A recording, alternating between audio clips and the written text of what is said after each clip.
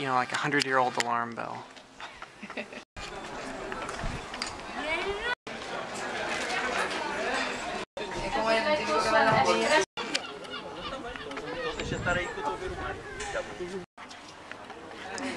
One, two.